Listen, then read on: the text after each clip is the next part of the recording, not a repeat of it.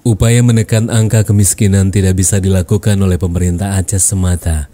Kerja-kerja kolaboratif antara pemerintah, universitas, dan juga pihak swasta, investor dan juga pengusaha lokal diimbau untuk tidak semata bergerak di bidang jasa, namun juga harus terjun ke sektor yang lebih luas yang mampu menyerap tenaga kerja jauh lebih besar. Hal itu disampaikan oleh pelaksana tugas Gubernur Aceh Nova Iriansa Usai membuka secara resmi musyawarah perencanaan pembangunan Aceh tahun 2019 dalam rangka penyusunan rencana kerja pemerintah Aceh tahun 2020 di Hermes Palace Hotel Rabu 10 April 2019. Tidak ada negara besar yang sukses tanpa bantuan sektor swasta. Untuk itu pemerintah yang kolaboratif harus tercipta di Aceh. Pemerintah dengan anggaran belanjanya memberi stimulus dan universitas-universitas mendukung dengan hasil kajian dan juga penelitiannya, sedangkan sektor swasta mendukung dengan investasinya. Dengan kebersamaan ini, saya yakin kita akan mampu menekan angka kemiskinan dan juga mewujudkan Aceh hebat, kata Nova. PLT Gubernur juga mengungkapkan selaras dengan RKP Nasional, pemerintah Aceh telah merumuskan tema RKPA 2020, yaitu pertumbuhan yang berkelanjutan, peningkatan daya saing SDM, dan juga infrastruktur yang terintegrasi.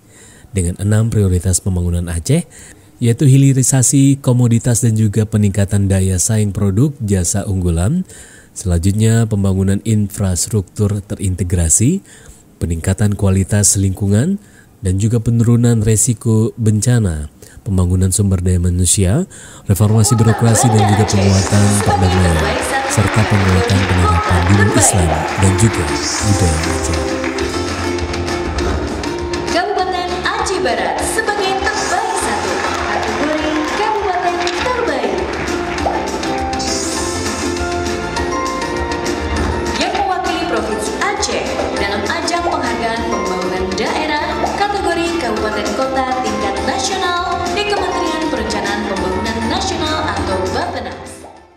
Menurut saya eh, strateginya kita tidak usah berbasa-basi lagi eh, mencoba-coba strategi yang terlalu banyak. Menurut saya strateginya eh, melihat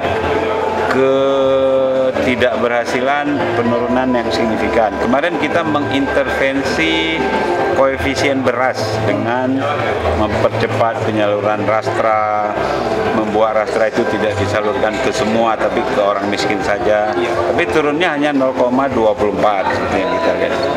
Nah ternyata memang ke depan itu hanya investasi yang bisa menurunkan secara signifikan.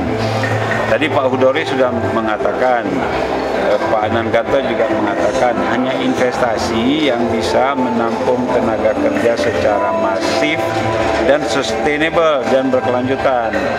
Nah kalau intervensi terhadap rastra, intervensi dengan program-program BBA itu kan dia short time, tidak berkelanjutan. Nah kalau mau menurunkan signifikan harus berkelanjutan. Tadi sudah ada diberikan sarannya, harus masif, tenaga kerjanya harus berkelanjutan. Artinya tidak dia sebentar-bentar PHK atau termnya hanya satu tahun. Nah untuk itu kita kan sudah coba investasi menengah besar. Uh, ada sih satu dua tapi kan uh, waktunya panjang sekali. Repsol aja misalnya kemarin itu hampir dua tahun hanya survei seismik. Paling eksploitasi baru 2020 empat tahun lima tahun ke depan baru kita terasakan eh, bisa menampung tenaga kerja dan berproduksi dan kita mendapat hasil oleh karena itu.